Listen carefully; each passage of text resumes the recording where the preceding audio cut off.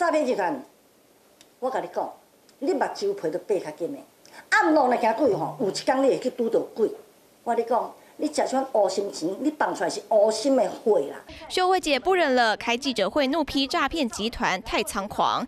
你已经寄生在我的身上了，已经是寄生虫了，你已经像细菌一样无孔不入了。我每天的直播。每天十一点半我都会直播，他们每一天知道我在讲什么，他就更新什么。拿出自家肥皂跟冒牌产品比一比，包装有些不同，但杨秀慧前脚才刚跟粉丝交代如何避免，后脚诈骗集团也跟着换包装。还有自称秀慧姐的粉丝团，开头先自清说蓝勾勾才是真的，提醒大家近期有很多诈骗集团冒充，一定要小心。接着话锋一转，要粉丝私讯订购正品，这下反过来教大家怎么辨识，企图以假乱真。反正他只要拿到我的照片，他就可以去合成。所以我现在拍照，我不敢手这样子，你知道吗？我手这样子，他们上面放一个他们的产品，照片被冒用，甚至拿去卖药。粉丝询问珍贵的电话也接到手软。杨秀慧诉诸警察，但处理方式他很不满，对这个社会真的很失望。